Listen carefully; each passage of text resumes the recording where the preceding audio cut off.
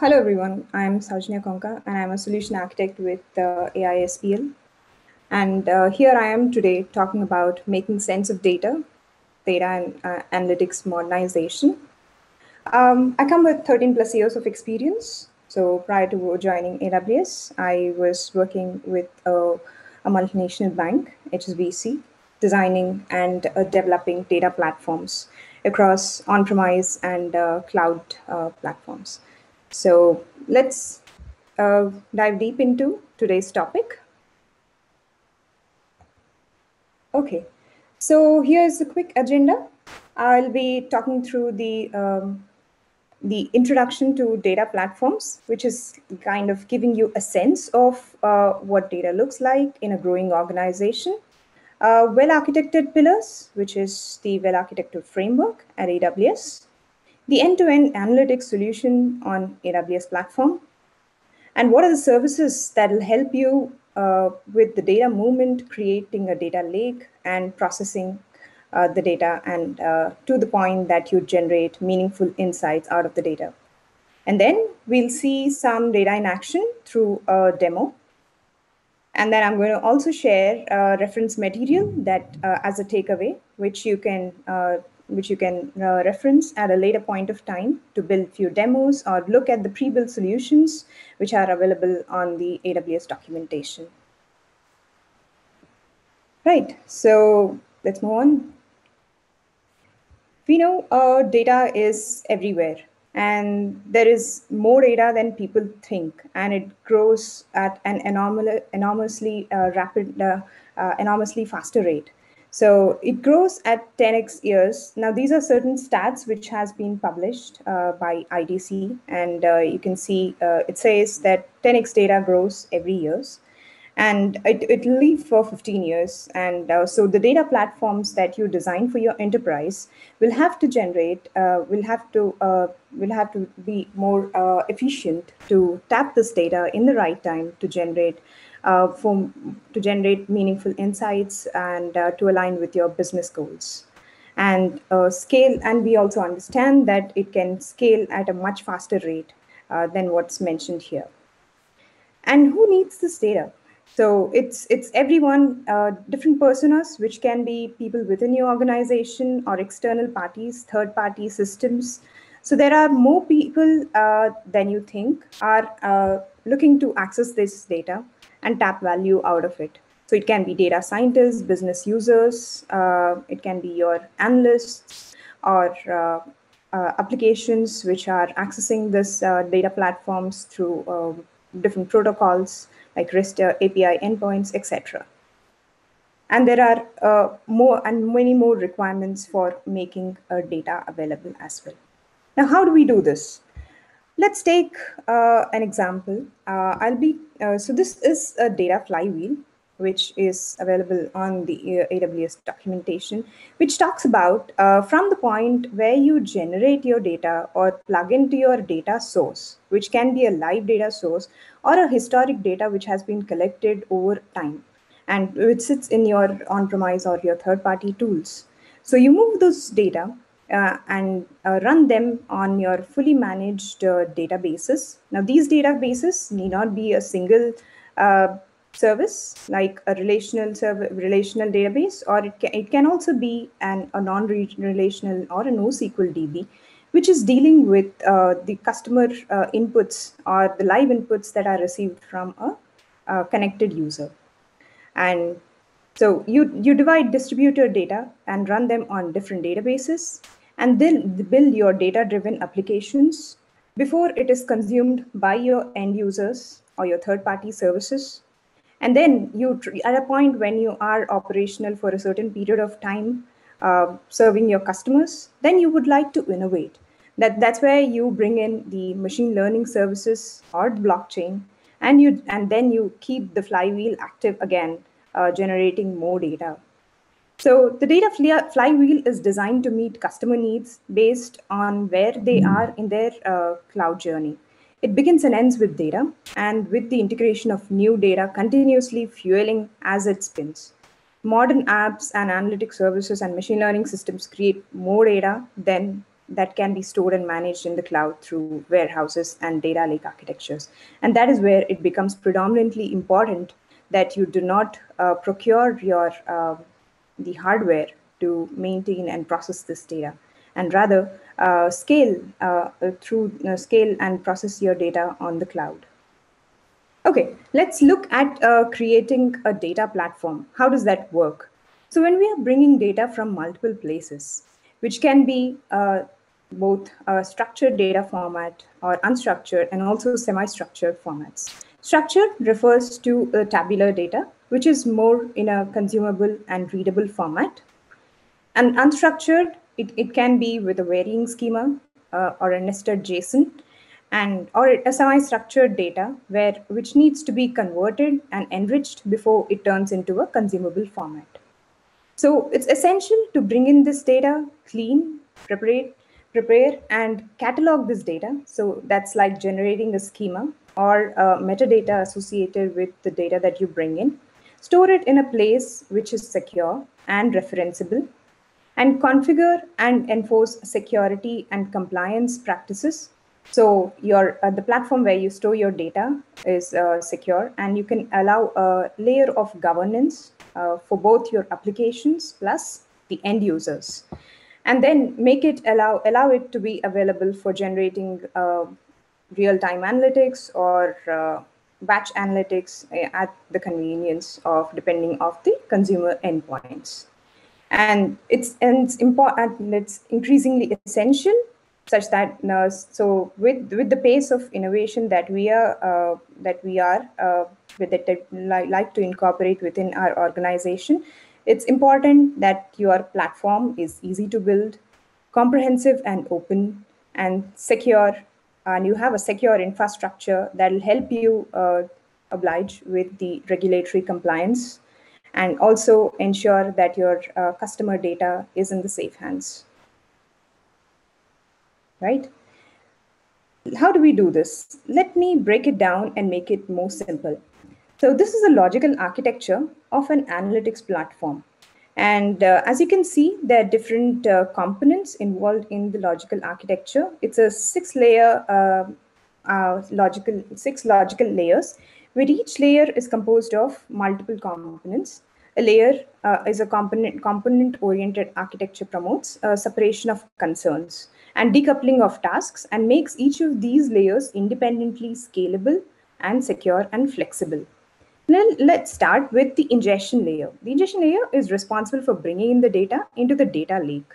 Uh, it provides the ability to connect to internal and external data sources over a variety of protocols. It can ingest batch and streaming data into the storage layer. And once you bring in the data from your uh, multiple source systems, what do you do? It's the storage layer. The storage layer is responsible for providing durable, scalable, secure, and cost uh, effective components to store vast quantities of data. It supports storing structured and unstructured data sets of variety of structures and formats. Now, uh, that's also important uh, while you're storing the data. So to understand what is the data type associated with it and what is the schema that is associated with the data. Uh, so it becomes uh, consumable to the end uh, point. So uh, even when, you, when you're talking about the storage layer, you would see there are uh, three different um, storage subcomponents, you can say that. So it's, it's the raw zone, it's the clean zone, and the curated or the consumption zone. Now, what is this? Uh, so raw zone is the format in which you receive the data from your source system. And this is a transient area where data is ingested from the source as is. So you read, you can read in it and uh, move it to uh, from the standard storage class to even the archival storage class. So you make it a cost efficient. Uh, so you store your data in a cost efficient manner. The clean zone, which is after the preliminary quality checks or uh, the data from the raw zone is moved to the clean zone for a permanent storage. So here the data is stored in its original uh, in its original format, but after uh, enriching it and making it uh, and removing the uh, the unnecessary or the uh, the junk data which doesn't match with the uh, the schema expected schema.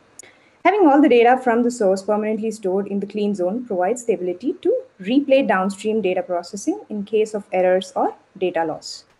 and then the curated zone. Now, this is this is uh, a data, data layer which is completely consumption ready state and conforms to the organization standards and the data models. Now, this is the area where you would see the data scientists or analysts would like to uh, query uh, the curated zone data uh, in generating meaningful insights uh, of the data that has been brought into the system.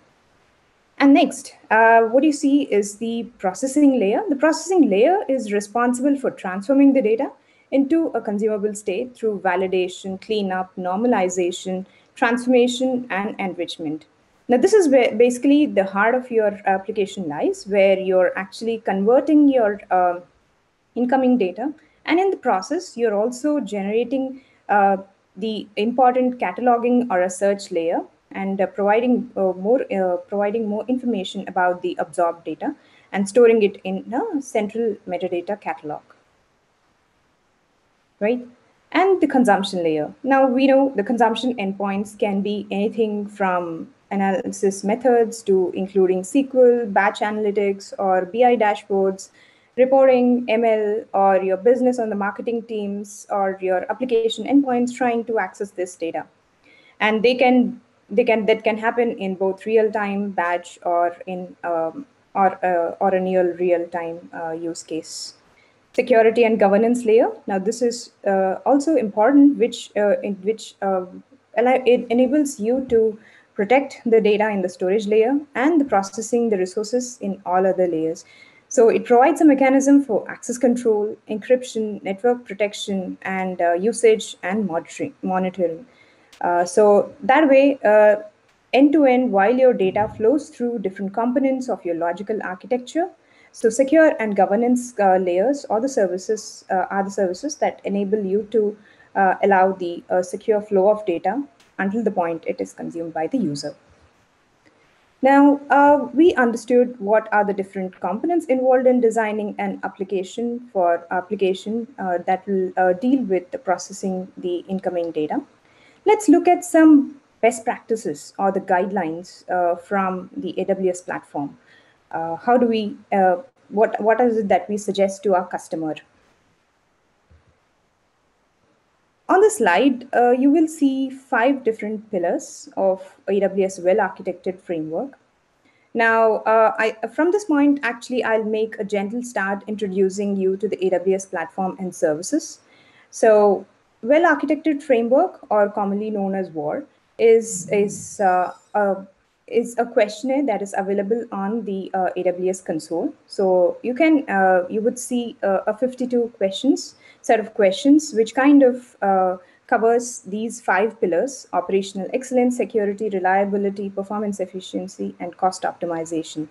So uh, that that uh, that is uh, it's normally suggested uh, for the um, for a customer uh, who's building their applications on cloud to do an, uh, a half yearly or a quarterly review of their application or whenever they go live with a new set of application on cloud to ensure they are adhering to these five the guidelines stated by these five pillars. Now, um, when you when, when you incorporate these five pillars, it will help you to produce stable and efficient systems, allowing you to focus on your uh, functional requirements. Now, operation, I'll, I'll talk through each of those as a high level and what do they include. So, operational excellence is the ability to run and monitor systems to deliver business value and continuously improve supporting processes and procedures. Security which is a critical pillar, as we all know, as we, we do uh, come across incidents where an application has been compromised or has been, uh, or there's a new threat that is detected, uh, and there's a new DDoS attack or a SQL injection uh, that has happened on the application layer. To uh, ensure your application has is uh, protected from these threats, so you should you need to ensure the ability to protect the information systems assets while delivering business value through risk assessments and mitigation strategies. Now, you could do that with uh, several uh, security uh, and governance layer services which are available on the AWS platform. We're going to talk through them uh, in a while uh, during our presentation. Reliability, ability of a system to recover from the infrastructure or service failures and ensuring your system is completely fault tolerant dynamically acquire computing resources to meet, your, meet the demand and mitigate disruptions such as misconfigurations or transient network issues. Performance efficiency. Now, uh, as you start and grow, and as your business scales, and uh, to align with your business goals, your application and your infrastructure stack should be equally compatible uh, to grow and meet the demands of your business need. The ability to use compute resources efficiently to meet system requirements and to maintain that efficiency as demand changes and technologies evolve. So that's performance efficiency pillar. Cost optimization.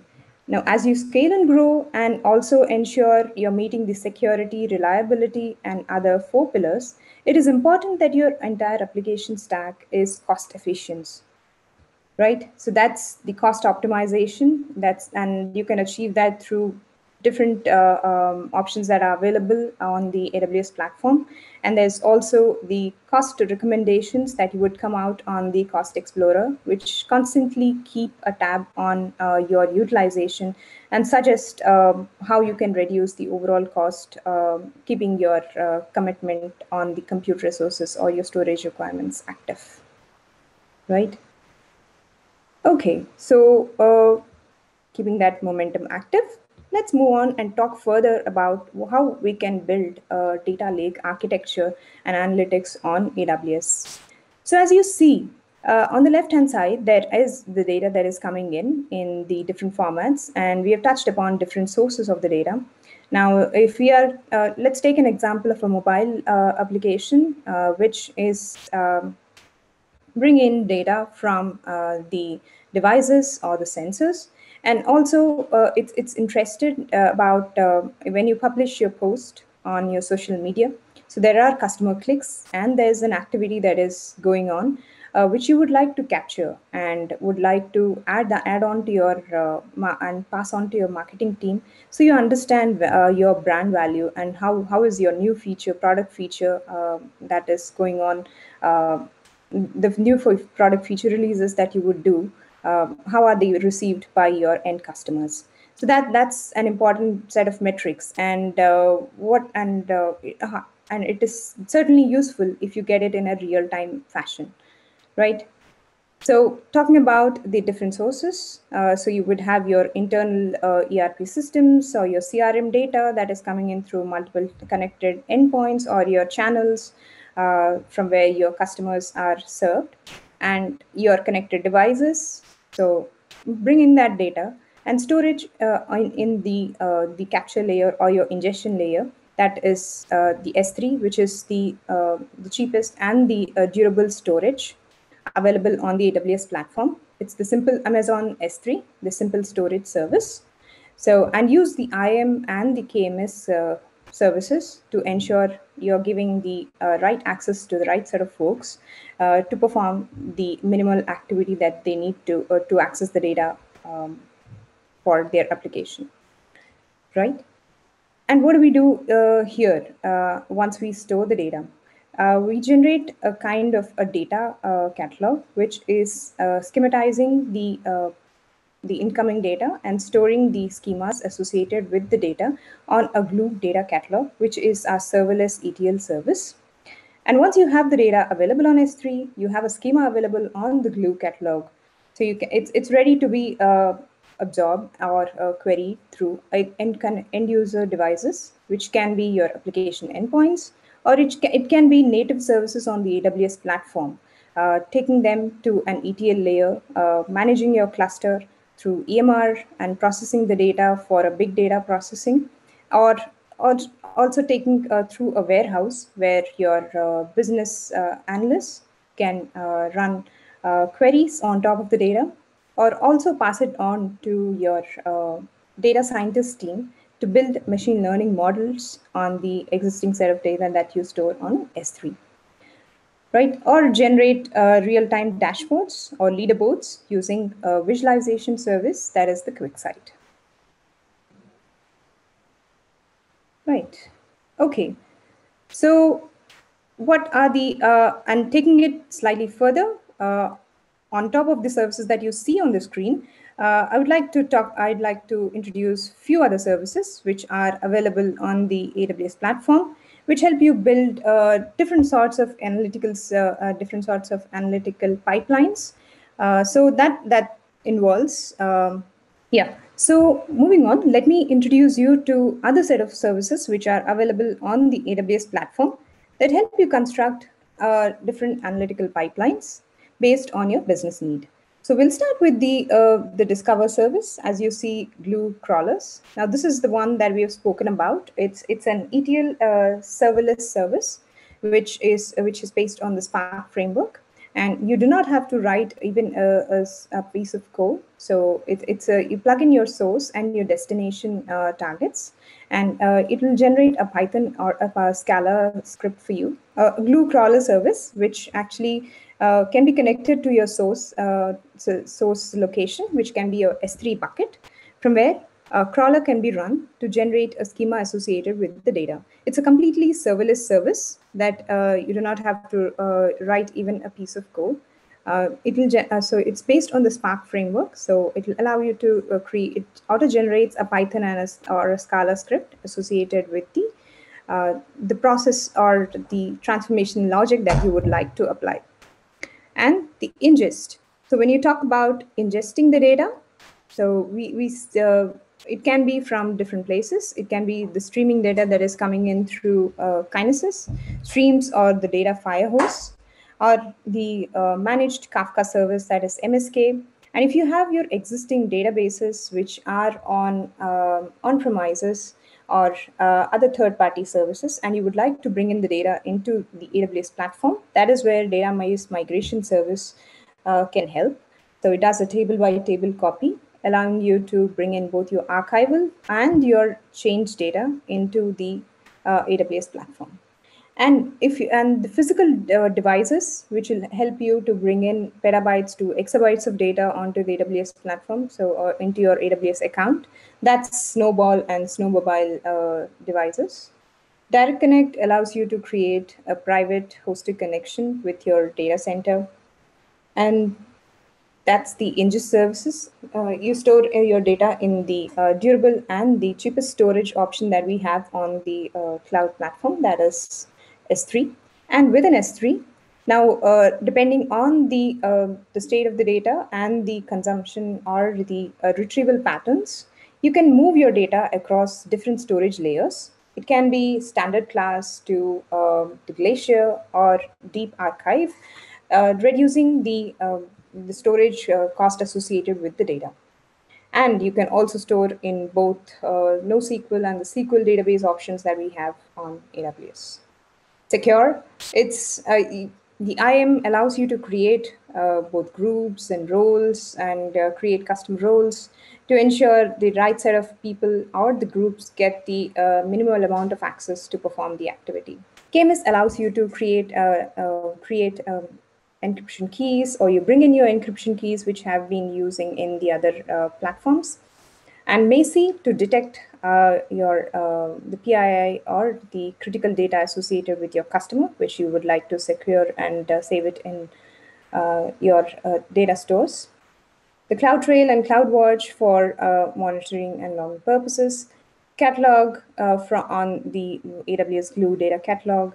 EMR Hive Store which is another option where you can put in your uh, the uh, schema or the catalog associated with your uh, associated with your data sets. Prepare the data.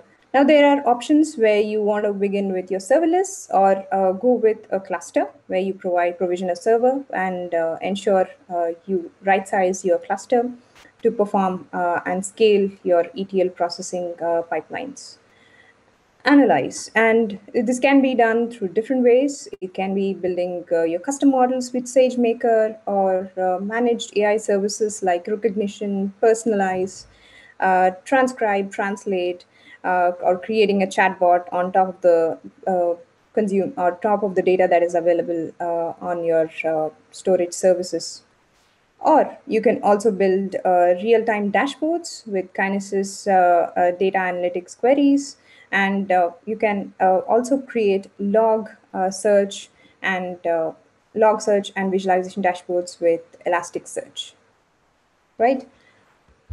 And again, uh, you can use uh, notebooks, which to connect through each of these services uh, to perform interactive queries or transformations at the jobs through the notebook interface. That, that's at a very high level, talking about the uh, services and categorizing them under the analytics umbrella.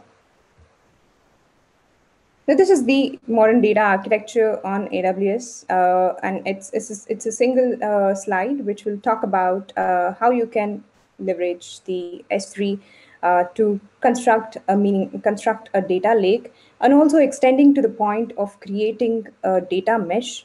Uh, as your organization grows, there are different lines of businesses that are relying on the data, or there are external third-party systems who would need access to your internal data. How do you do that? So it starts with Amazon S3. Customers have been building data lakes on S3. It stands as a popular choice, uh, and there are more data lakes on uh, run on AWS than anywhere else. And it's using uh, Athena, so which is our uh, serverless and interactive query service. It's nothing but uh, managed Presto under the hoods. So you can query your data that's uh, hosted on S3 through Athena without provisioning any server. In addition to the data lake, customers use a combination of our uh, purpose-built databases and analytics services like EMR, uh, Amazon Elasticsearch, which is called the open source uh, OpenSearch service now on the uh, console. You would see the name updated. Uh, Redshift, Amazon Redshift, to ensure that they are using the right tool for their job to get the high performance and scale at the lowest possible cost. And to move the data uh, between the systems, uh, Glue, you can use Glue, which is the serverless data integration service. And finally, you can use AWS Lake Formation. Now, this is a governance tool that will help you manage the, uh, the security and the governance of all the data, regardless of whether it sits in the data lake or it's in any of the purpose-built stores. And in all of these cases, uh, we've uh, in in we've heavily invested in offering best price to performance ratio uh, for each of these services associated. Now, let's dive in by discussing scalable data lakes. It starts with creating data movement solutions, uh, which is like uh, we are bringing in data from multiple places. And how do we do that for both data that is at rest plus the new live data that is getting created at, uh, a, uh, at a customer endpoint and also bringing in your existing archival data from your on-premise data stores. Right. If you see, these are there are more different ways where you can bring in your data into the data lake. Uh, so you can start with uh, data movement from your on-premise. Uh, so you can, let's say you have been uh, operating uh, with your on-premise applications with with an internal storage services. So AWS offers the most comprehensive range of options to help customers to move data from to AWS without any major disruptions and also at a lower. Now, if you'd like to move petabytes or exabytes of data, from the data centers or your on-premise hosted services, you can use physical appliances like Snowball or Snowball Edge. Uh, and you can also connect, or if you have, if you would like to uh, host an on-premise application directly connecting to AWS, you can use uh, AWS Storage Gateway. Or the other choice is you can set up an, a host a private network, a dedicated network connection between the customer's network and the AWS through AWS Direct Connect. And you can or uh, boost long distance global da data transfers using Amazon's globally distributed edge locations with Amazon S3 transfer acceleration. So that will be relying on the uh, the edge locations uh, that are uh, edge locations at uh, which are uh, available across the globe Finally, customers can capture and load streaming data or IoT device with the Amazon Kinesis Data Firehose that can land your data into S3 Elasticsearch service from where your uh, analysts or your existing uh, business users can start querying the data as and when it arrives onto the platform. The first step is to building a data lake on AWS to move the data to the cloud. Right. Okay. Let's check what are the uh, data lake and infrastructure and management solutions. Uh, so here that allow you to create a, uh, a secure uh, lake management solutions. This is uh, S3. So what do you do? Uh, so it's it's know, we've spoken about it in the previous slides. It's it's a 99. It provides you 11 nines of durability what does that mean? So it's it's actually you whenever for example if you store uh, 10 million objects uh, with amazon s3 you can on an average expect to incur a loss of a single object once every 10000 years. So that's like saying it's almost impossible to lose an object which is stored on uh, amazon s3 it allows global it has uh, global replication cap uh, capabilities. So you can do uh, and create a highly available uh, storage layer because uh, it, it, it is it allows for massive parallel it's massively parallel and scalable. And its storage uh, scales independently of compute. And it provides a lowest storage costs compared to any other compared to the other storage choices that are available on the platform and even you can move across from the standard storage class to uh, the deep archival storage class, depending on your access and retrieval patterns. Right. So when you create, when you're storing your data on S3, it becomes increasingly important to uh, have a governance layer that will allow you to simplify the simplify the way you manage the data and the access that is uh, access of uh, the data that is stored on the S3. So lake formation is a service that makes it easy to set up secure data lake in in uh, in a couple of days. So data lake enables you to break down silos and combine different types of analytics to gain analytic, uh, to gain insights and guide the better decision business decisions. Um, and uh, creating a data lake with lake formation is as simple as defining data sources and what data access and security policies you want to apply. Uh, in the uh, demonstration, as part of this uh, session, I'm going to also show you how we create a lake, how we can create a lake formation on the on the sample data that we are going to use in our demo, right? So uh, it, it allows you, you all, all you need to do is once you create your S3 buckets, you can declare them as part of your uh, the AWS S3 data lake. And once you do that, uh, it, uh, it'll allow you to create um, uh, access controls in terms of the operations that you would like these users to perform. Either it can be just restricting them a set of users to just create the databases or update the uh, tables, and they and then separate your uh, users who just need a viewer or a browser access on top of the data. So you can segregate the different roles and ensure uh, each person is just getting the uh, minimal amount of access on the data.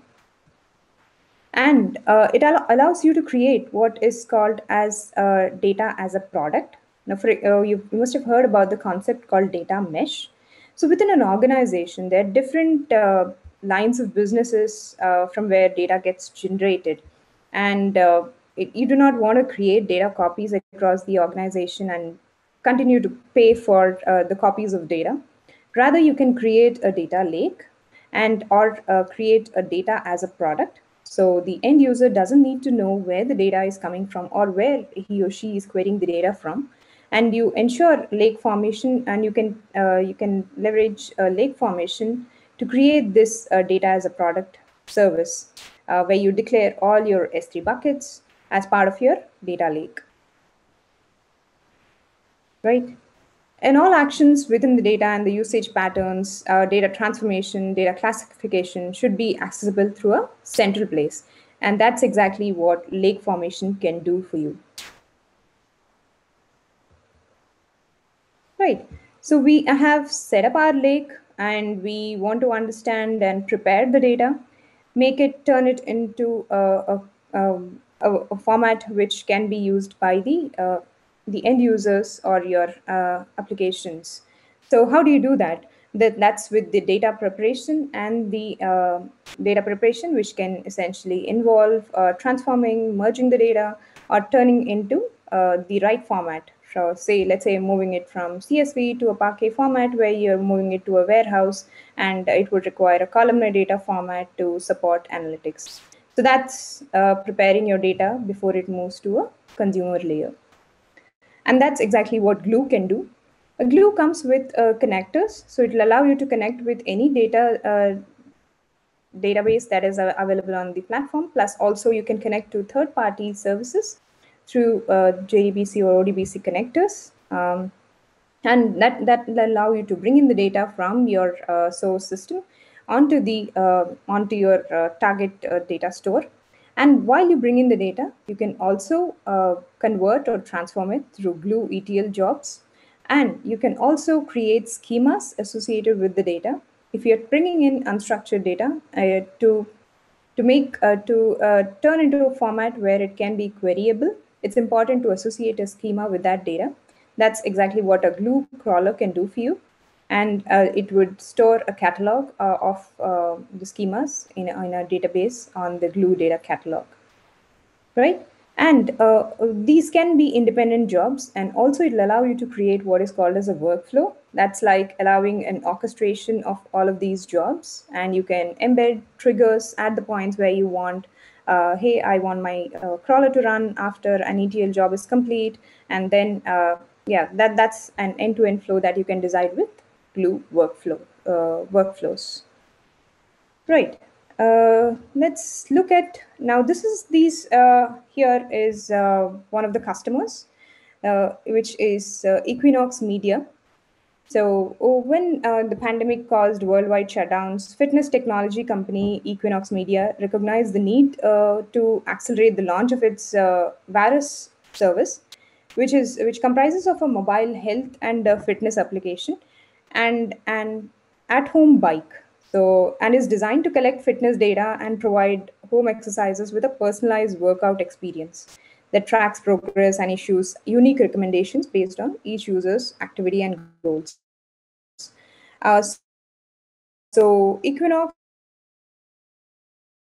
was able to uh, build their entire uh, serverless platform. So, it's primarily Amazon Athena, Kinesis Data Firehose, and uh, Dynamo DB, Lambda, and other serverless services that have enabled them to build a complete uh, recommendations platform capturing the uh, customer data in real-time format. And this has actually reduced uh, their overall turnaround time by six months. Uh, so they were able to launch their product six months ahead of schedule.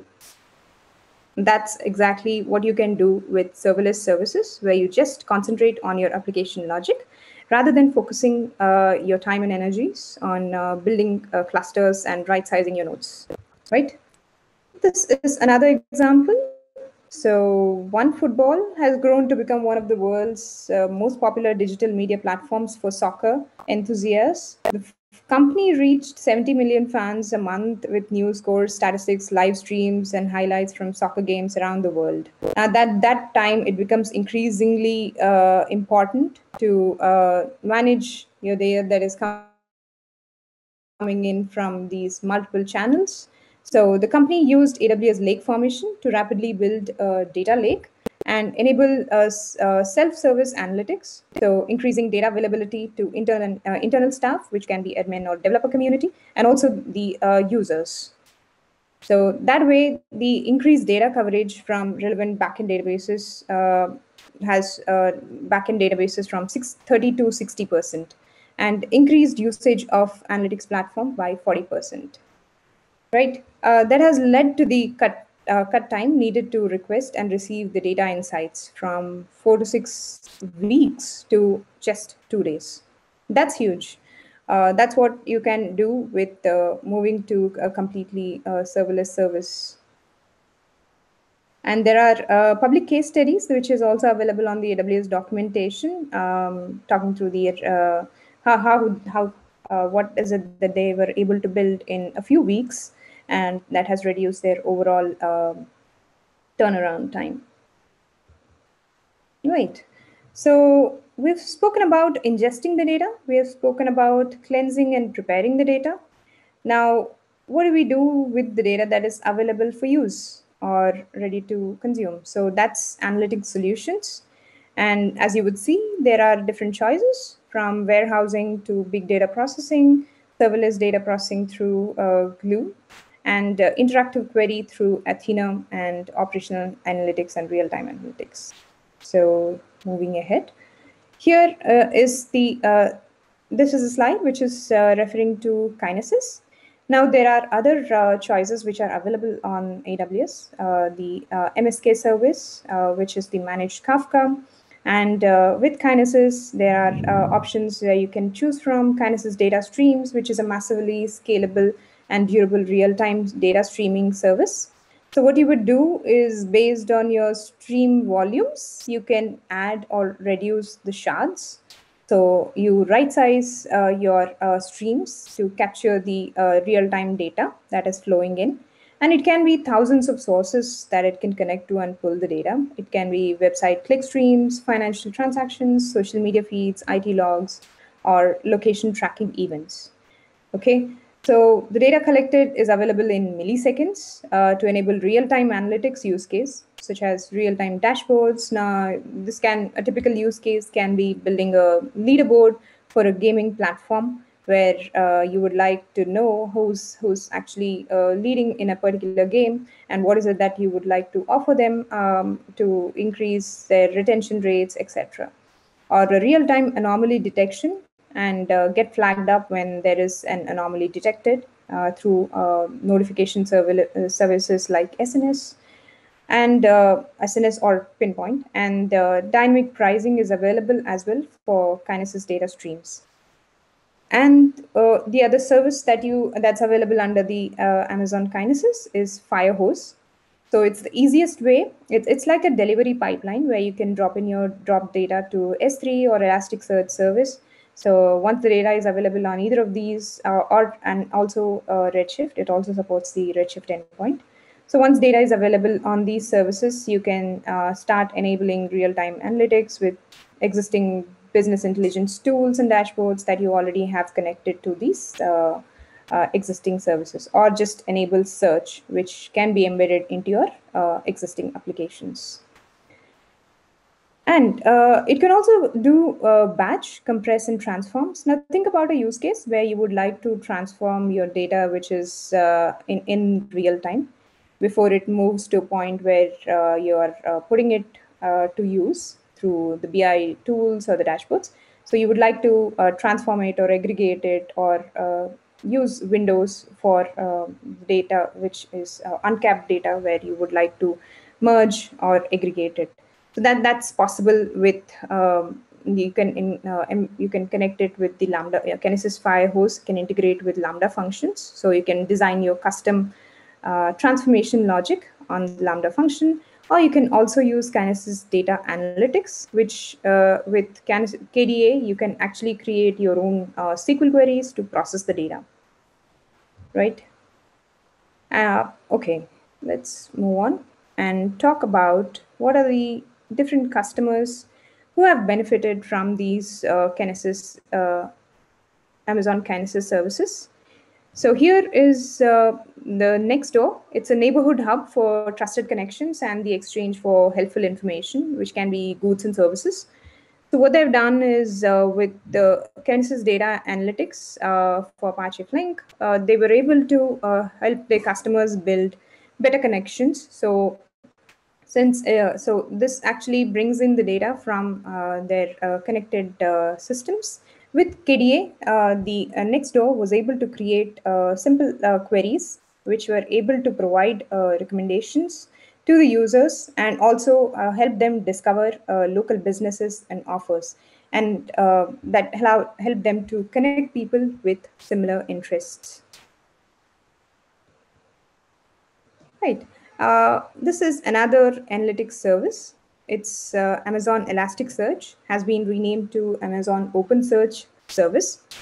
It's uh, uh, it's a managed Elasticsearch service, so where you create a cluster, uh, and uh, each of these clusters has nodes, which uh, are where your uh, an Elastic open source Elasticsearch is uh, deployed, and it helps. Uh, as you know, uh, the Elasticsearch service it allows companies to search, explore, filter, aggregate, and visualize the data in near real time.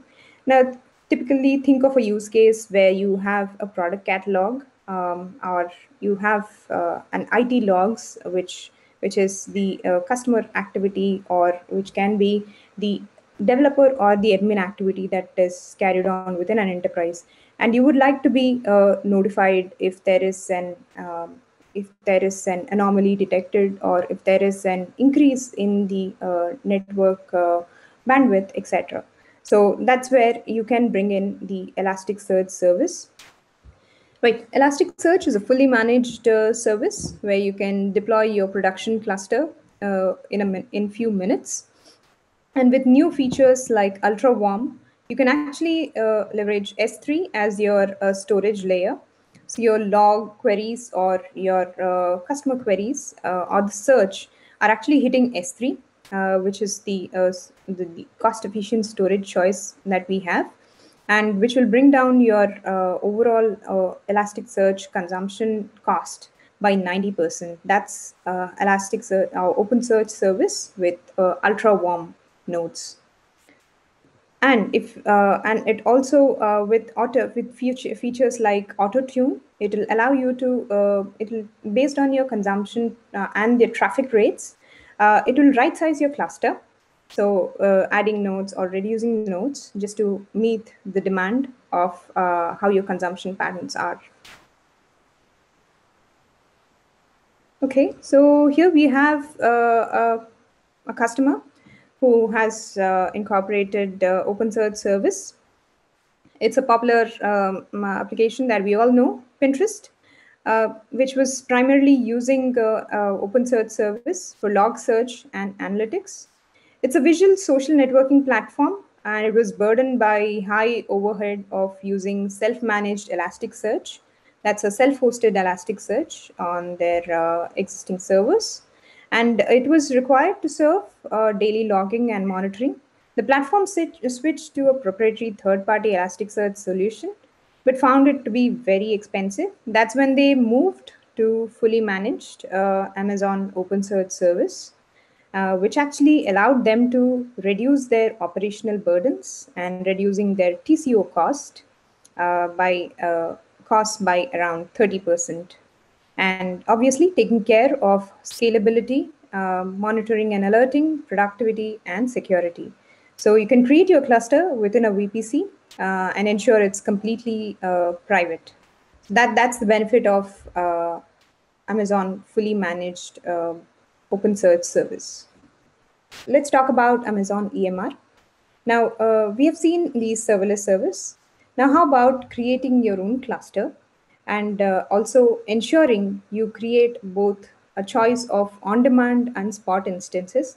That way, even as you scale to processing uh, terabytes or petabytes of data, you still uh, have a tab on managing your costs and ensuring you uh, you are complete your uh, infrastructure is completely cost efficient and then uh, yet you uh, take the benefit of the open source projects that are available in the market so that's where uh, amazon emr can help you so if for a big data processing that where you're using hadoop or spark frameworks amazon managed service that makes it easy, fast, and cost efficient to process vast amounts of data across dynamically scalable Amazon EC2 instances. And EMR actually supports 21 different open source projects, including Hadoop, Spark, HBase, uh, Presto, Hive, and many more.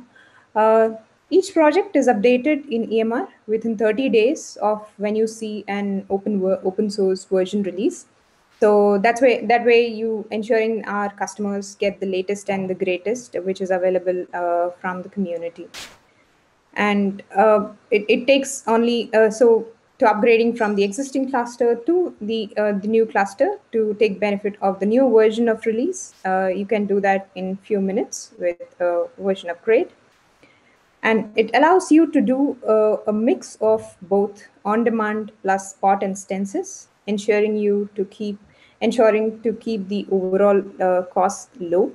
Now, think about a workload where you do not want to run it all the time, and it just needs to be um, training a model and then uh, shut down the clusters when it's not needed. So you can exactly do that with Amazon EMR, and you can use uh, Apache Airflow or uh, step functions, allowing you to orchestrate the entire workflow for EMR. So it can start from creating a cluster, deploy a new version of your job from your Git, Git repository, run the job, uh, publish the results onto your uh, RDS or S3, and then shut down the cluster. So this entire pipeline can be designed on an Airflow or uh, uh, using the step functions from the AWS platform. Let's look at a customer use case, uh, which is uh, Nielsen Marketing Cloud, NMC. It's a data management platform. It creates marketing segments and has device graphs from a sea of audience data for customers to help them run and manage marketing campaigns. NMC is a cloud native uh, um, software where it was the team was collecting around 60 terabytes of data every day and it was stores around five petabytes of data. And the team uses Apache Spark heavily running about 6,000 Apache Spark nodes uh, per day across all the clusters. Now, the problem was the data scientists were uh, uh, use the data in the warehouse to build the models and run analytics and do research. And because not all the data was available in the warehouse, they were actually relying on the developers who who, who had uh, who had to write custom reports and pull the data um, using Apache Spark. So that kind of uh, increased or uh, or increased friction, which also uh, added opera- operational bottlenecks. And the solution was the development team wanted to remove the third-party data warehouses and give users direct access to the data sitting in the Amazon S3 uh, without uh, compromising on the performance. That was possible uh, with Apache Spark over Amazon EMR now, we saw from the previous slide that EMR allows you to actually separate your compute with your storage. Now, here with data sitting on S3, uh, and uh, the developers actually implemented Apache Spark over EMR that acquired all of the uh, off-shelf uh, features that EMR provides, and including cost tagging, uh, team uses for cost management, Apache Zeppelin, which uses give users a, a studio for running the SQL, and Apache Spark's Thrift server, which gives users a Java database uh, connectivity access. Right? That, that's a, a, use case covering both Amazon EMR and also uh, S3. Another service in the analytics platform is Athena.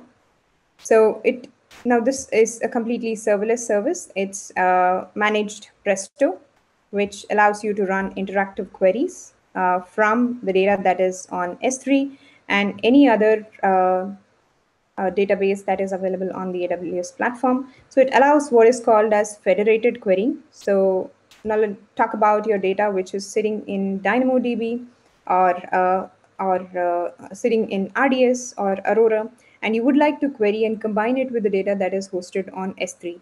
You could do that uh, with uh, simple SQL joins. And that's possible with Athena. It, it's a completely serverless service which allows uh, you to just focus on your queries and your application logic. And there's no infrastructure to manage, and you pay only for the queries that you run. So it actually uh, charges for the scan data that uh, there will be uh, data scan data per query, and you do not have to pay anything for the in underlying infrastructure. Amazon Redshift, which is the warehousing uh, service on the AWS platform. It provides the ability to run complex analytical queries against petabytes of structured data, includes Redshift Spectrum that runs SQL queries directly uh, uh, on um, your data that is hosted on S3. Exabytes of structured and unstructured data that can that can sit in S3, and yet you can query it and combine it with the associated data that is already on your uh, Redshift cluster. Now think of it this way, where you're creating, uh, where you understand uh, your data and you know that a certain part of your data is live or dynamic or it's changing frequently But while the certain part of your data, which is your reference data, archival data, or your customer information or demographics, which doesn't change much.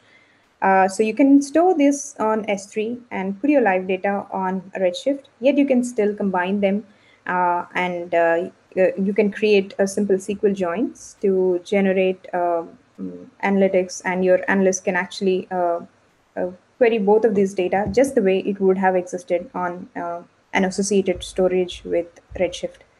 And there are a couple of releases that went live on the Redshift service which allow you to uh, keep your costs low, pause and resume. So when you're not using your warehouse cluster, you can actually uh, pause it and you do not get charged for the cluster. And you can resume it back when uh, during your business hours. And you can, if you are uh, a business with uh, different consumers from third-party services or different lines of businesses, you can use uh, the data sharing option where you just store your data uh, uh, on one of the clusters, yet query it from the other clusters. And um, yeah, so with Redshift, customers can actually start, uh, start small for just um, 25 uh, cents per hour with no commitments and scale out to petabytes of data for 1000 terabytes per year. That's less than a tenth of the cost for traditional solutions. Now, let's look at one of the customers. Now, uh, Vyaire Medical is a medical device manufacturer that creates respiratory equipment supporting ventilation, airway management, and operative care. And uh, we know uh, in the challenging times, it was essential to uh, capture the uh, metric settings coming out from these ventilators and pass it on to uh, medical advisors or doctors who can react to the situation in the right time where they can take a look and uh, give the right assistance at the right time. Uh, so here, Vyaire was actually using Redshift, QuickSight, and Elasticsearch service, um, and uh, with and this act- and it became increasingly important to uh, scale uh, to scale out um, and actually to meet the demand due to COVID nineteen pandemic.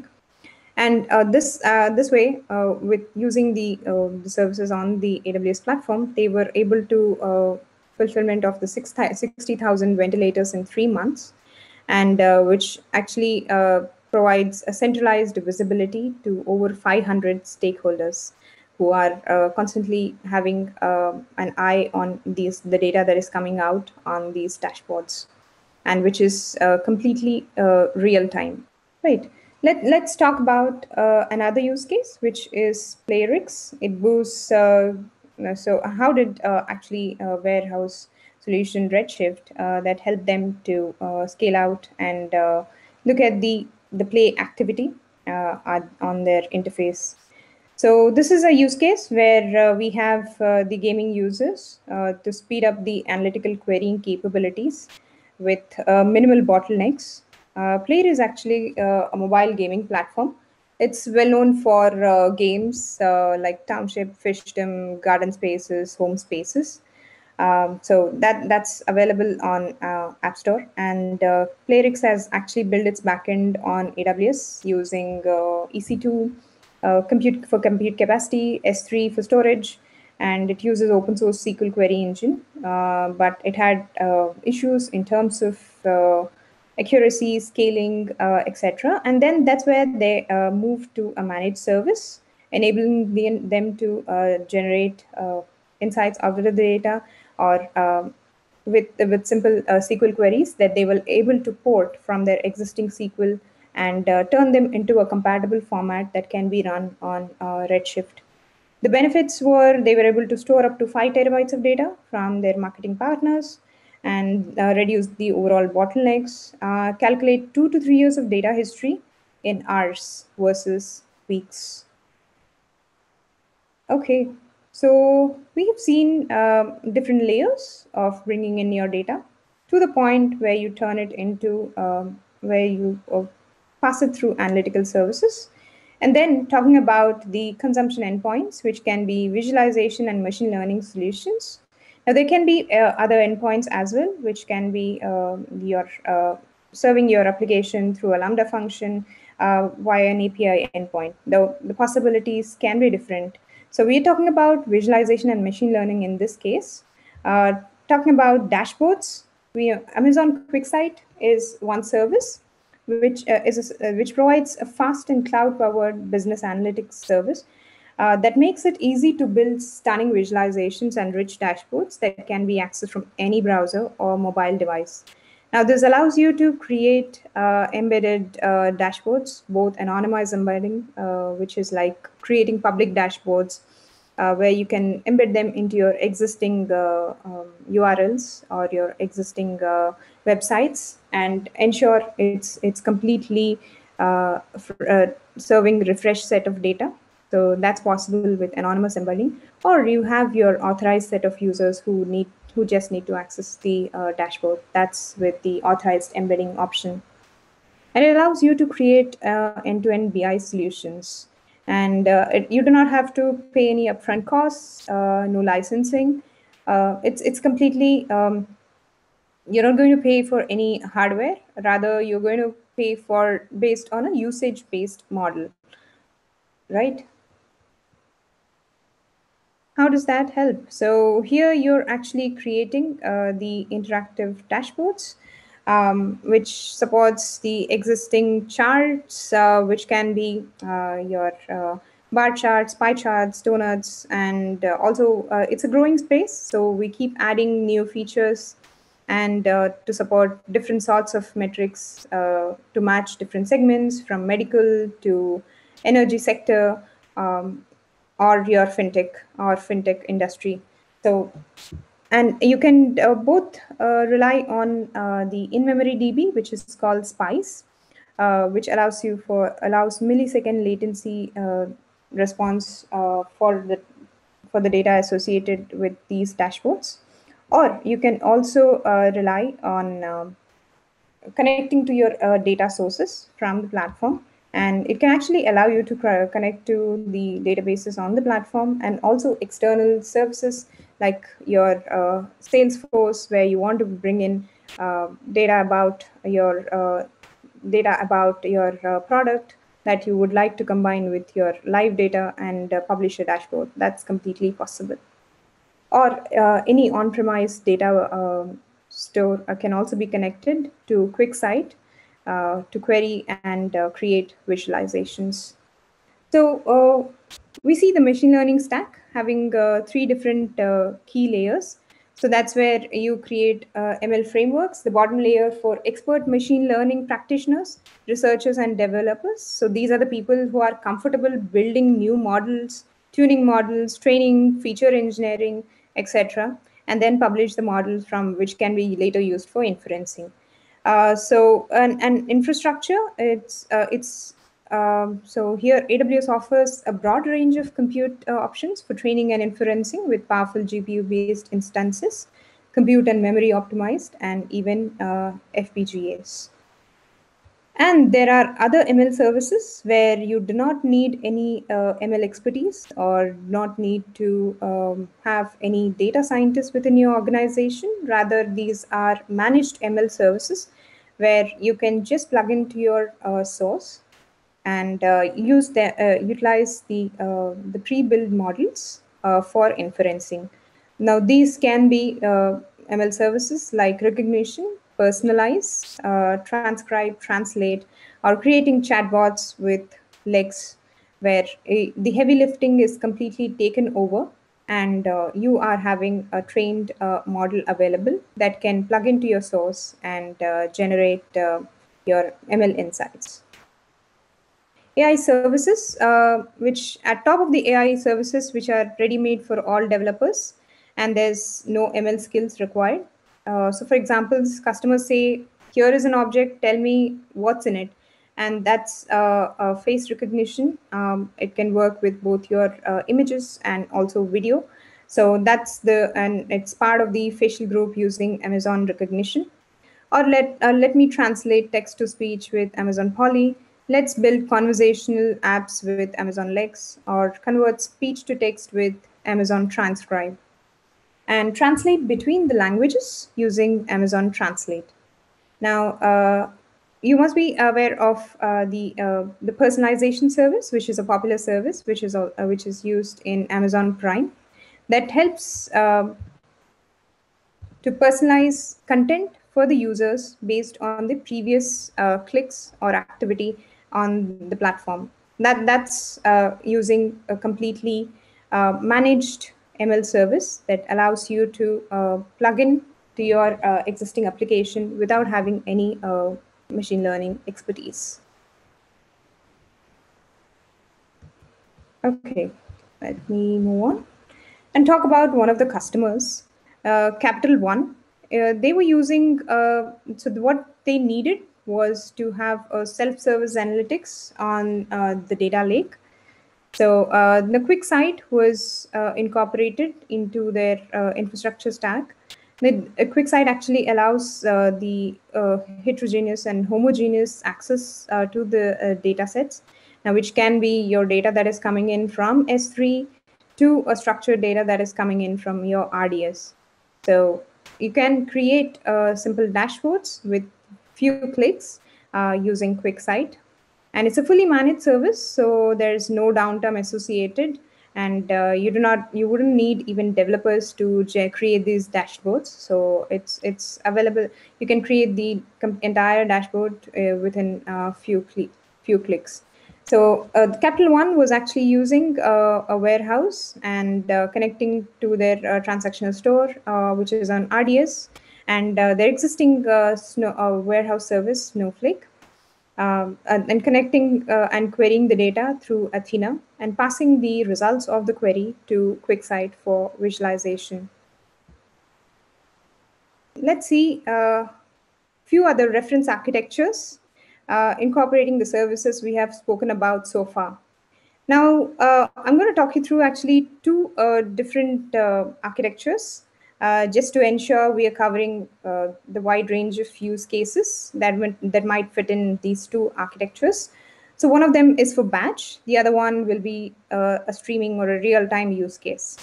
And in batch, if you see the uh, where we are bringing in the data from your files or your uh, on-premise data stores and land your data on uh, S3, then you use a glue job to transform and move the data to a processed S3 bucket from where you can use the uh, serverless Athena service to query the data on the, uh, the target S3 bucket and pass it on to a QuickSight to build uh, simple visualizations. Now, this is uh, an end-to-end pipeline for your batch processing.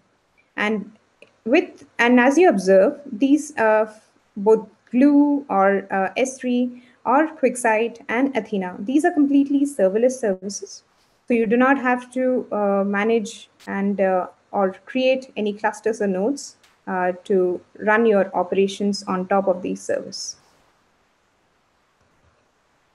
Similarly, um, in this, uh, we are talking about here, I'm referring to um, a streaming use case here, which is bringing data from your uh, connected devices or clickstream activity from your end users through a mobile interface.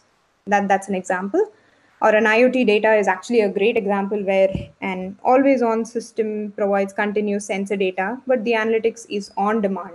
And that's the difference when you uh, compare it to the batch. And you pay for those services only when you use them. So here, as you see, uh, we are bringing in the data from Kinesis uh, using a Kinesis data stream, passing it through uh, other set of Kinesis services, Kinesis data analytics, and you can also use Firehose, which is our delivery pipeline to land your data on S3, and then uh, use uh, the other uh, uh serverless services, which is your Glue, uh, create a complete entire workflow, bring in, uh, extract the schema or verify this landing schema, and then pass it on to your consumption ready data layer, which can be your destination S3 bucket, from where it can be picked up by to uh, from there where it can be picked up by Athena for querying, or it can also be uh, your SageMaker model uh, for a training purpose. So, or you can connect it to your Elasticsearch service, where it should, where it is serving the customers uh, for a full text search or um, uh, for a full text search or creating uh, visualizations. Okay, now here's uh, Amazon.com. Now we Amazon builds and operates thousands of microservices to serve millions of customers. These include catalog browsing, order placement, transaction processing, delivery scheduling, video services. That's a lot happening. And if if you uh, if you would uh, want to understand the massive scale of the data that is handled, it includes uh, over 50 petabytes of data and 75,000 tables, processing over 1 million uh, user analytic jobs every single day. Now, the challenge was uh, with on-premise database infrastructure that supported the system was not designed to process uh, petabytes of data. Obviously, when you uh, design your in initial systems, uh, they need to scale from terabytes to petabytes. So it, it was resulted in a monolithic solution that was hard to maintain and operate due to lack of separation of concerns from both the functional and financial perspective. Right? And that is where uh, the new data lake based solution utilizing a variety of AWS services to deliver performance and reliability for uh, at exabyte scale uh, for data processing and streaming and analytics, uh, which comprised of uh, S3 service, Amazon EMR, Redshift, and uh, with EMR, uh, it was provides a managed uh, Hadoop framework, as we all know. We have seen that in the previous slide. So here, uh, Amazon.com was leveraging EMR with uh, HBase, uh, Presto, and Flink, and also the um, the instances with Amazon EC2. and to run Amazon Redshift is was also used for as a warehouse service uh, and interactive uh, visualizations were built using Amazon QuickSight. That way, actually, it resulted uh, it uh, with the double storage capacity and uh, lowering the costs. And uh, with with cloud, it's actually completely scalable. So you do not have to pre-provision any hardware to manage your growing needs of your business. Right. So as you create your uh, infrastructure stack on the AWS platform, we have other supporting services that allow you to uh, create and allow you to uh, enhance the security, ensure uh, end-to-end data encryption, both at rest and in transit, detective control, and also incident response in case of uh, in case of an abnormal activity where you need to be flagged up and your uh, team needs to respond. So that's uh, as you can see, these are uh, there are a lot of services which have been listed on uh, the slide. Uh, the uh, there are certain regulatory compliance when uh, your application needs to adhere to when you're operating in the market, and which could be PCI DSS compliance, which is your payment card industry standard when you're handling customer data for when you're handling customer data or the SOC compliance with the Service Organization Control. AWS Artifact provides several compliance reports issued by third-party auditors who have tested and verified our compliance with variety of global, regional, and industry-specific security standards and regulations. Right, so let's check uh, a, a, live demo, which is actually pre-built. So uh, I'm going to also share the uh, material and the links where you can also create these demo um, into your AWS accounts. Um, so you can take a look as to how easy and simple it is to um, uh, create an end-to-end pipeline. A customer uh, insights, uh, which is uh, coming from the uh, user clicks.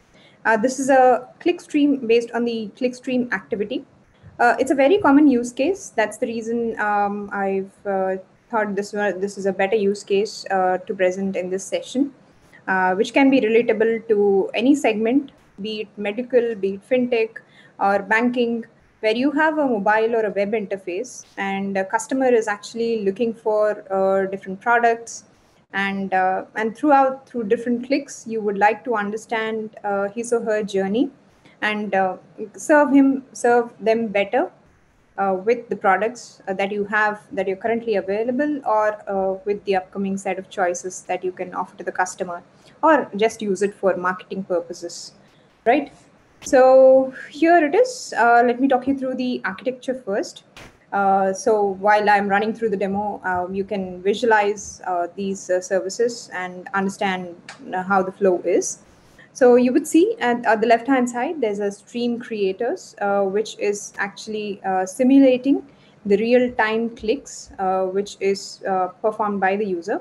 And in this case, you would see me um, uh, you would see uh, you would see the demo and demonstration, which is picking up the data from a product ordering website.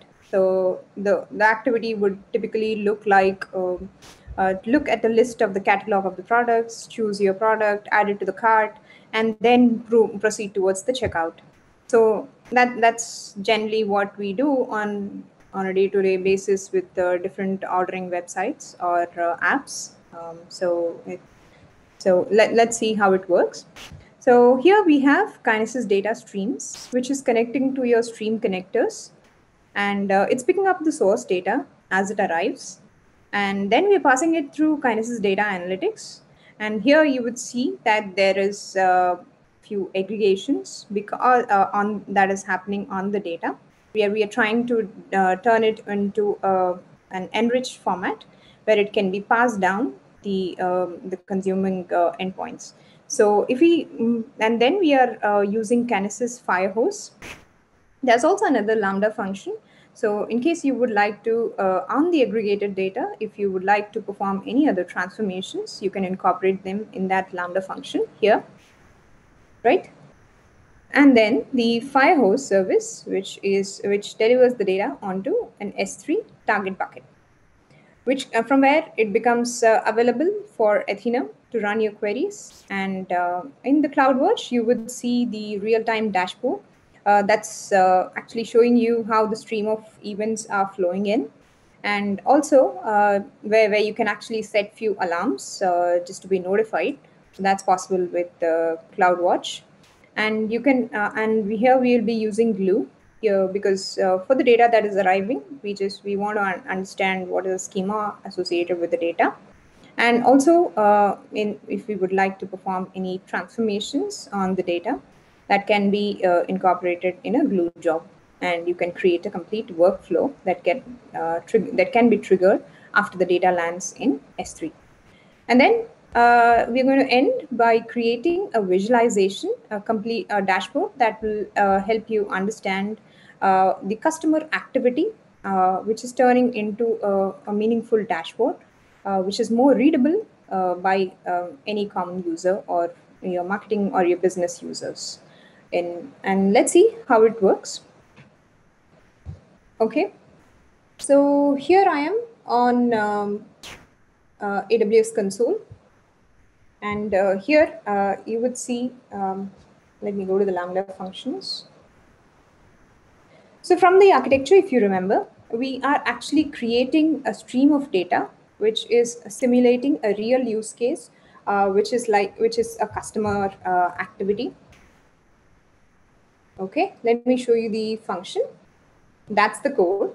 And uh, you would see the activity uh, uh, so that is getting generated. Uh, so it, it comes with a user ID, a randomly generated user ID, just to ensure we are uniquely associating uh, each user with an ID, and the device, which can be your mobile, computer, tablet, uh, etc., from where the user is interacting, and the client event. So we spoke about the uh, activities uh, that is performed on a on an ordering website.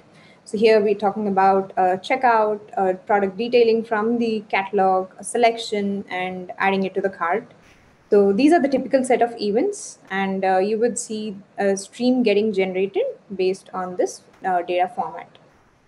Okay, so let's see um, if the data is getting generated. I'm, I'm on the CloudWatch dashboard for the Lambda function.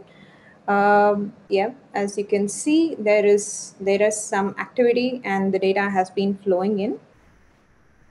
Right. Uh, if you recollect from the architecture, so the session data has been uh, will, is being moved to Kinesis data streams. Now I'm on the Kinesis uh, service. So here you can see the session clicks, which is active. Let me also show you the dashboard. uh, with the metrics of the data that is uh, flowing in. Yeah, that that's the uh, data, the incoming uh, data records and the bytes associated with the data. Okay, some more interesting metrics on the latency and the overall uh, records that are uh, flowing in and the bytes of data, incoming data, etc., which is available on the streams. And if you recollect from the slides uh, that I've uh, spoken about on the streams, you can uh, increase the size of your stream if there is more inflow of records. So that way you can, um, you are actually accommodating your stream to pick up the increasing set of uh, streams through by increasing or reducing the shards associated with the stream, right? So after streams, let's the data is moving to Kinesis data analytics. And yeah, you can see this the status is running. It has been picking up the data, uh, which is coming through the Lambda function, through the Kinesis stream, streams into the analytics. Uh, let me actually show you how the data looks like. Okay. Now this is an, a SQL core, uh, which you can uh, run to query the data that has been flowing in. And uh, here actually Kinesis data analytics, if you remember, uh, so it, it actually allows you, it it's includes more than 25 pre-built uh, stream processing operations like windowing and aggregations. Now for an uncapped or an unbounded data set, it is uh, impossible to collect all of the elements and you're you're going to uh, what you're going to do is you design strategies around aggregating this uh, uh, data uh, aggregating this unbounded data. And how do you do that? So that's uh, if you're working with an unbounded PCollection um, yeah, windowing is especially useful. And Kinesis data analytics actually supports uh, sliding windows tumbling windows and staggering windows. That's the aggregation logics that you can incorporate in your sql to collect and curate the data before it's passed on to uh, visualize or generate analytics, right? Uh, KDA actually, or Kinesis Data Analytics, it's uh, it has 25 pre-built stream processing operators, so it can support not just not just Windows and aggregations, and uh, um, it there are uh, Windows and aggregation. It has other uh, pre-built uh, stream processing operations that it can support. And once you once built, you can upload your code to KDA uh, and the uh, service takes care of everything. So be it from required to run your real-time applications continuously, including uh, scaling automatically to meet the volume and the throughput of your incoming need. So what you do is essentially uh, um, in configure incoming streaming data, write your SQL queries, point to where the results should be loaded. So here in this case, if you see, there is uh, a pre-built SQL which is running on the data. I'm going to show you uh, the source stream, which has been moving to the Kinesis data analytics. So let's just see what's there in the incoming data. So there's a session ID. If you recollect from the Lambda function, there was a, a unique session ID, user ID, device ID, and we are uh, aggregating it, uh, aggregating the data that is flowing in and what are the events associated with it? And as you can see it's changing real time because the new set of data has been is continuously flowing in. And the navigation activities uh, from beer selection to um, ending the navigation event. And what is the overall duration uh, associated with this activity right? That that's all the data that is flowing in. And then since the stream is active uh, you're actually getting the live data um, as we speak as well and that's the uh, output that we have seen, uh, which is actually um, an aggregated window. So here uh, we are using a staggered uh, window where we are collect, collecting the data and partitioning it by user ID, device, device ID, and the client timestamp.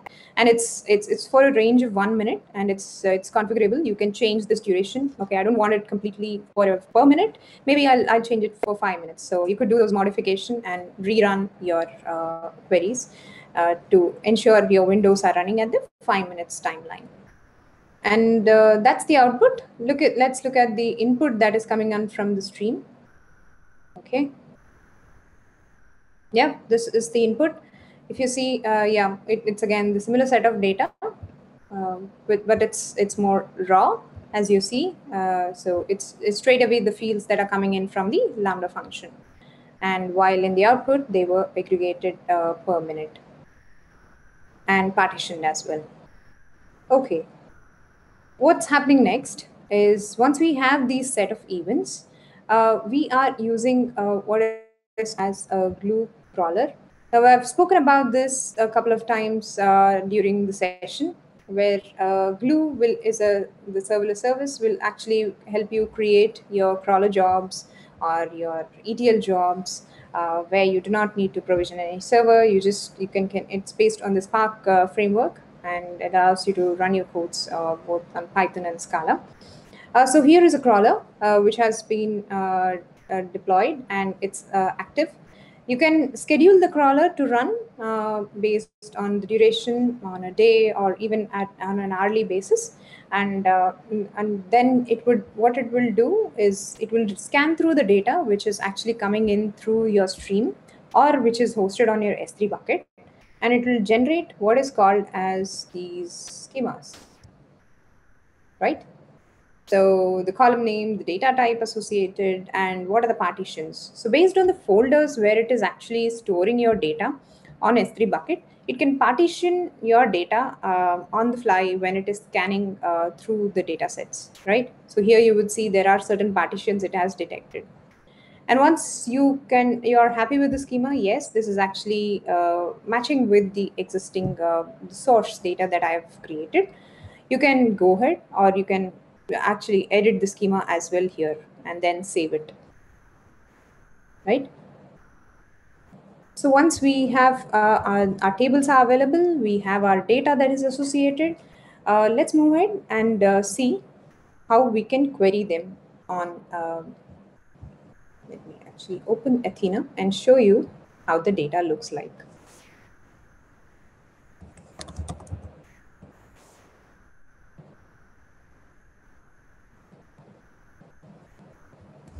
Okay, now, Athena uh, allows you to connect to your data source. Now, this can be your S3 bucket or query any other data source which is on the platform. Or you can connect to create your own data connectors through via a Lambda function, right? And here in this case, uh, since we are landing our stream of data on an S3 bucket, and then we are uh, querying it through uh, querying it through uh, a data that is hosted on S3 plus the schema from the catalog. And it also gives you a choice of uh, saving your catalog, uh, saving your schemas on Apache Hive Metastore, which can also be chosen for uh, reading out your table schemas. But here we are, uh, our idea was to create a complete, uh, a serverless uh, pipeline. so just to let you understand how easy within few within few minutes you can actually create an end-to-end -end active pipeline. Okay, going back, let me show you the data. Okay, so I've connected to the data source. This is actually the database where uh, um, this is actually the database uh, from the Glue catalog. And once I select that, you can see the tables that are available here, the aggregated data, the raw data. Right, Let, let's go ahead and uh, query. Yeah, I'm just doing a preview with uh, 10 lines of data. Yep, that's the same. Uh, it uh, we can associate it with the stream that we have seen on Kinesis Data Analytics. So here uh, it's the device client ID, yeah, and it's the same activity. And as you can see, uh, based on the schema that is available on the uh, Glue, you can see the partitions have also been uh, pulled out. Okay, because it's saving the data in different folders on the S3 bucket. Okay, so what do we do next? Let's let's take that data uh, further, move on, and generate some dashboards. I'm on the QuickSight. Uh, okay, I'm on the QuickSight service on the AWS console. Now this allows you to connect to different data sources. Uh, this is the point, place where you can add data sets. So you can create a new data set, uh, which can be a new data source, which uh, you can upload it from your um, uh, from your com computer, your on-premise uh, service, and store it on an uh, in-memory database, in-memory DB, which is Spice. And for this account, so this is an account which I've just created for the demo purpose. Uh, so you would see uh, a one gigabyte of Spice capacity. You can continue to add and increase the Spice capacity depending on your in-memory uh, dashboarding requirements. So, and also you can connect to your other data sources uh, within your enterprise like Salesforce, or if you have uh, any other uh, operational tools like uh, Jira, ServiceNow, um, you could do that too. Or um, obviously, you can also connect to any uh, the other data stores on the AWS platform, right? Okay, so once you create your data set, you can add it here. And then you start with your ana uh, creating analysis on top of the data set. Now here is Okay, let it load. So this is a sample analytics which uh, I was uh, trying to create with the data that was connected to Athena. So here, as you see, it's it's our raw data and aggregated data. So this is actually data sets created on top of the Athena uh, data set. So you can change them. No, okay, I would like to uh, create some visuals on top of the aggregated data set uh, just choose that data set and you have the fields available. Uh, so and uh, click on add visual that that that will create a new uh, that will create a new visual type. Choose your visual type, uh, which can be a bar chart or uh, bar chart tables or comparison charts, aggregation charts, tabular views for using pivot tables, uh, or correlation using scatter plots, etc. Okay, and okay, let, let's see uh, what, what we can see from the data. Now, if you see the first chart here, it says that, um, yeah, most of the activity from the begin navigation, um, you, as you can see, it's equally distributed across uh, from the checkout to cart to selection and products. That, that's an useful information. Uh, but as we see, it's uh, completely distributed. So that's that may not give us uh, uh much data about uh, where they are, where a customer is spending most of the time. For example, if we understand that yes, during the checkout process, there's a maximum amount of overall duration in seconds, then which helps us understand that yes, during the checkout process, customers are facing a difficulty so maybe we should make it more user friendly, and so users can uh, change. Uh, users should be able to check out uh, and finish their complete activity um, in in uh, reducing the overall time. And let's look at the another uh, uh, visual here, which says the duration in seconds compared to the events. Now we know the devices are mobile, tablet, and computer. And as you can see, mobile is the the device which is of choice uh, for the end users and which is quite obvious. We know we are uh, we, we prefer using our mobile for ordering uh, food or ordering uh, through our product applications. So that that's a uh, interesting insight. And if you want your tabular data, um, just pull out the entire set of the data, data that is coming in. Now this is for your uh, business users who just want to take a look uh, on the entire set of data, or just extract it and take it forward uh, as a CSV or email it and export it and share it as a report. So once you publish your dashboard, uh, give it a name. Okay, let's product flow, publish the dashboard. It'll take you to a point where these dashboards are available uh, on a published view page. And you can see, uh, you can add your uh, users who need to receive this particular uh, dashboard, right?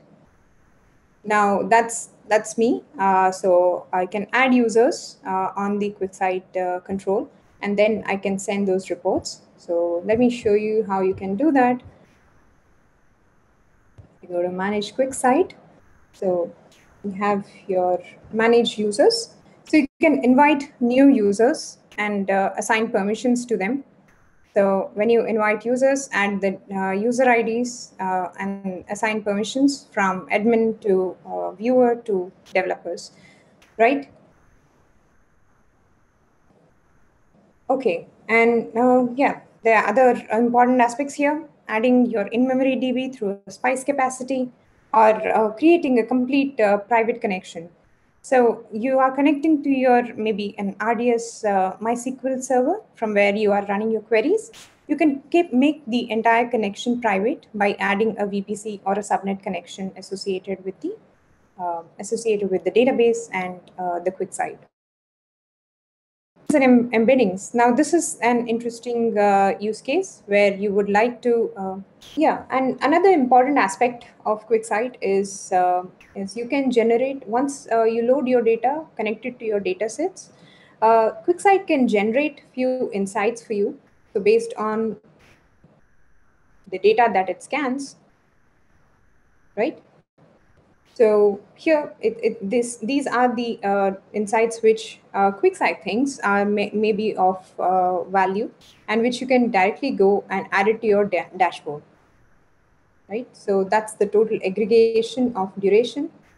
So yeah, you can see, yes, that's the total duration in seconds uh, of the overall activity for all the users across different devices. Let's see if there's anything interesting. Um, bottom three devices, we have only three devices in our test data. Okay, bottom three navigations, maybe, okay. Uh, yeah, this might be of value. I am going to add this to the dashboard too. So let me drag it and put it. Okay, great.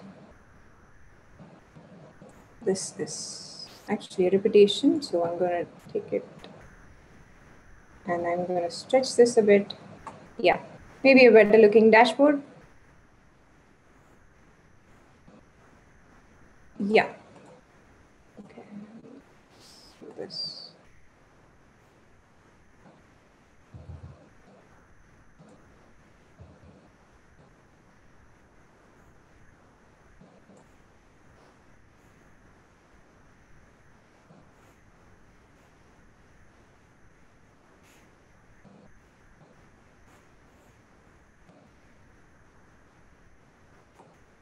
Okay.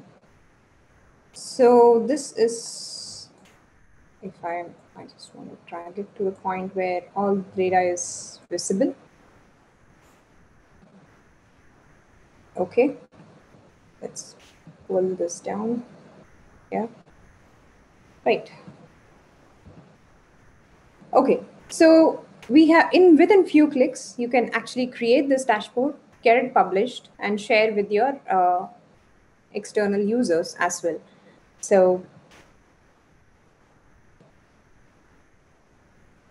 that's uh, and also let me um, okay share with your external users and you can also create insights which um, uh, insights uh, which can be your forecast on top of the data now if you have a time series data and you would like to understand a prediction based on the current level of consumption and how is it going to be at a later point of time you can create ML powered uh, insights um, and also detect anomalies um, based on the current consumption patterns, or if you detect there is any change or a deviation and you would like to uh, understand uh, the anomaly points, you can do that with the anomaly detection powered insight as well. Right. So, okay. So let me also cover a few of the features which are part of the QuickSight since we uh, this is a demo central link um, which has been published by the product team. So uh, there are some interesting uh, features on uh, QuickSight. Uh, so let me